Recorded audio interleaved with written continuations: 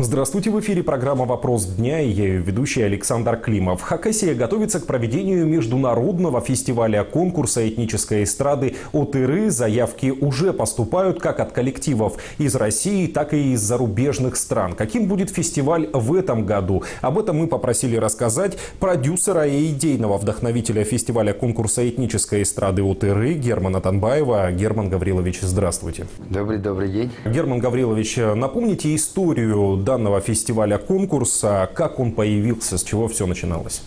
Ну, история его уже довольно, скажем так, продолжительная. Э, мы уже отмечали и 20-летний юбилей, э, поэтому и 25-летний юбилей, скажем, э, это все было, начиналось еще в начале 90-х годов. А как телевизионный формат он вышел уже в 92 году, но как тусовку мы его проводили еще в 91 году, чтобы оценить творческие силы наших, скажем, нашего региона и какие у нас есть э, наработки, можем ли мы выйти. То есть была такая маленькая оценка, поэтому э, можно его э, как раз с этого момента и рождения фестиваля считать 91 год, это новогодняя тусовка.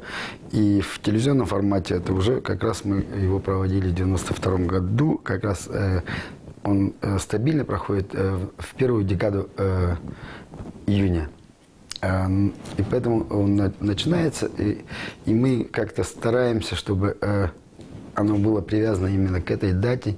Нынче это уже э, День России, 12 июня, финальная точка. Пока еще студенты не разъехались, у нас э, это э, было злободневно, потому что нужно было привлекать и молодежь, и кому это интересно. А после в июле обычно проводят большие фестивали уже open air, когда отдыхают. Тогда уже все-таки как собрать, это уже другая, другой формат. Почему так назвали, да? Наверное, вот э, это связано все-таки с мировоззрением хакасского народа, э, с его э, э, верованием, э, потому что э, мы поклоняемся и, и духам, да, э, и самый сильный дух, а основной из, э, из духов, который хранит э, семейный очаг, э, быт народа, это э, богиня огня, которую всегда, э, насколько я помню, э, мать э, кормила, чтобы у нас было все хорошо, чтобы все наши чаяния, надежды были всегда, скажем так, услышаны. А трудно ли было вывести конкурс на международный уровень? Наверное, э, все это э, приходит с опытом, э, потому что мы же просто так, у нас такого уровня никогда не было, и на таком уровне мы не работали, а опыт, он приходил сам по себе именно, когда приходилось участвовать в международных конкурсах. Для меня важно было сама внутренняя кухня, как это все это проводится, и, и конечно же, это знакомство, контакты, потому что без этого нынче не невозможно, э, скажем так, провести даже при всех, э, скажем, э, пусть это будет гран-при, там, не знаю, какими суммами исчисляется, но именно, наверное, вот знакомство, теплота, дружеские отношения как раз поддерживает вот этот мир. И вот для меня это важно было как раз вот, вот эта часть организации и знакомство э, со своими единомышленниками, э, кто э, болеет этим, кто желает, чтобы их услышали, кто желает, чтобы себя, утвердить себя на этом поприще. Поэтому здесь, наверное, все-таки вот в этой части э, самое важное, и когда мы уже э, решили проводить, э, уже имея опыт, имея знания, имея, и, имея скажем, контакты, э, это было уже э, не очень сложно. А, в Хакасии уже началась подготовка к проведению ОТР 2018. А кого вы ждете в этом году? Заявки от участников уже начали поступать? Заявки есть, и, но для меня, например, это страна, страны, которые принимают участие, э, всегда они э, представляют э, конкурсантов именно на уровне, на таком очень высоком уровне, когда приезжают и представители именно страны. Кого привезут, я уверен, что это будут участники, скажем так, достойные, достойные, потому что есть и представители такого высокого конкурса, как Евровидение. Уже нынче у нас уже приезжают за, за, заявлены участники, которые выступали на Евровидении от стран. То есть э, мы ни, ничем не, не, э, не ниже по уровню, э, если, скажем, относительно каких-то других фестивалей, конкурсов. А кто будет выступать от Хакасии, вы уже определились? Вот здесь, наверное, самая э, основная, э, скажем, сложная задача, э, потому что мы ежегодно проводим отборочный тур, отборочный тур э, от э, Хакасии, чтобы э, подготовить и выставить своих наиболее интересных, сильных исполнителей. Но в этом отношении у нас будет отборочный тур в середине мая, поэтому пока что есть, скажем так, предполагаемые участники, но все равно это же конкурс, поэтому в конкурсе, я думаю, я думаю, мы обязаны все равно представить несколько э, таких сильных исполнителей. Здесь, наверное, э, нужно быть еще и этнографом, э, музыка, музыкантом, э, культурологом, искусствоведом, чтобы понимать, э, какую музыкальную культуру еще они несут. Вот э, как раз жанр world music, э, который мы э, пропагандируем, э, это не только э, современная песня, да, это не только современные музыкальные э, э, стили, а это еще использование стилей э, именно э, учи, учитывая как раз национальные особенности музыкальные, музыкальные особенности региона, народа. И вот в этой части э, как раз э, вот это совместить, и это все колоритно, это очень сильно, это очень сочно, скажем, э, если, если так можно сказать, то вот как раз в этой части, наверное, мы и богаты э, тем, что каждый может представить и свою музыкальную культуру в современных еще э, обработках. А в целом, какие жанры будут представлены на сцене? Жанры э, самые различные, э, потому что все-таки э, world music это не только, э, скажем так, определенное направление, э, фольклорное направление, да? это как раз э, использование современных жанров на основе музыкальной культуры народа э, и региона.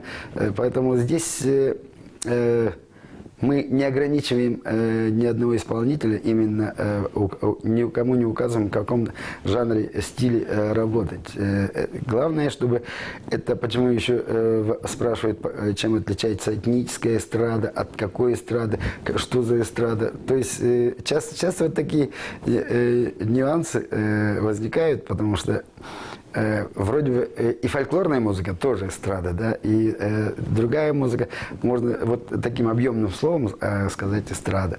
И поэтому мы здесь э, всегда э, акцентируем на том, на том, что в любом случае э, должно быть использование современных музыкальных э, выражений, инструменты, выражения, и поэтому это не только чисто э, взял э, народные инструменты и отработал, да, но если есть э, современные музыкальные барабаны, бас-гитара, там современные Э, э, перкуссия, технические, э, скажем, звуки, звуки, которые современные, если вы используете, то значит мы подходим к, к нашему. А в, в, в остальном мы никого никак не ограничиваем. Как вы уже сказали, в Хакасию съедутся лучшие артисты, коллективы из различных регионов нашей страны, из зарубежных стран. Но все-таки есть ли какие-то критерии для участников или может принять участие любой желающий, любой исполнитель? Критерии в любом случае есть. Это исполнительское мастерство, на каком э, э, этапе идете. И я, я уверен в том, что любой, не, не каждый исполнитель э, пожелает э, испробовать свои, э, э, та, свой талант, творческие силы, если он уверен в том, что он э, может принимать участие, он, пожалуйста, э, регистрируйтесь, проходите. Но у нас ежегодно проходит, э, проходит еще закрытый отборочный тур. Э, кроме того, что мы их отслушиваем, прослушиваем. До 18 мая как раз вот этот, э, скажем так, отборочный тур идет. Они отправляют свои музыкальные э, файлы э, на наш, на наш э, оргкомитет, и, и мы э, оцениваем их э, уровень. Поэтому э, если кто-то э, подает позже, то мы э, проводим дополнительный, э, скажем, закрытую, закрытый отсмотр и отсев, потому что в любом случае, выходя на зрителя, мы обязаны предоставить качественный про продукт, и чтобы это было конкурентоспособно, чтобы была, была интрига. Если нет интриги, значит и уровень конкурса, скажем так, будет немножко неправильно оценен. Поэтому здесь каждый участник может принимать, э, э, пожелать кто угодно, но э, в любом случае дол- должен быть какой-то, скажем, уровень, на котором мы уже э, застолбили. А сколько человек должны выйти в финал? Сколько артистов, коллективов вы допустите до финального выступления? К сожалению, э, это и есть как раз формат телевидения, э, который э, мы обязаны учитывать, так как если мы, допустим, человек 30, этот конкурс у нас закончится в течение, скажем, э, пяти часов, да, а мы не имеем права в телевизионном формате выходить за рамки какого-то определенного периода. Это человек, наверное, участников, то есть 15-17, э, то есть мы не, не имеем права дальше выходить. И вот в этой части э, как бы то ни было, фестиваль – это э, праздник, встречи, у- участие, выступления на тех или иных площадках, но а конкурсная часть, она имеет свои жесткие ограничения. А кто будет оценивать участников? Кто войдет в состав жюри? Это как раз э, те э, наставники, э, профессионалы, которые приезжают и приводят своих участников. В этом отношении у нас, как и, э, и опять же скажу на э, примере международных конкурсов, это один участник, а одна страна, либо один, а, один представитель страны, который оценивает, э, скажем, э, вот всех участников. Каждая страна представляет своего э, э, члена жюри. Каждый регион выставляет своего члена жюри. Какова программа фестиваля этого года? Будут ли какие-то новые номинации? Номинаций, э, к, э, к сожалению, у нас, э, э, может быть, не к сожалению, потому что э, каждый, каждый э, и исполнитель, и группа, и э, вокалист, и, и э, ансамбли, они и идут у, у нас так же, э, э, как и одна единица. Поэтому мы не разбиваем на ансамбли, мы не разбиваем на э, вокалисты. Э, номинация у нас э, одна. Оценки э, одни, и всех мы оцениваем э, только а, э, не двумя, не тремя э, баль- э, бальными системами, а только одна бальная система. Вот э, имеешь право до 10 баллов или до 15, да, э, вот, и вы одной оценкой оцениваете э, одного артиста или ансамбль.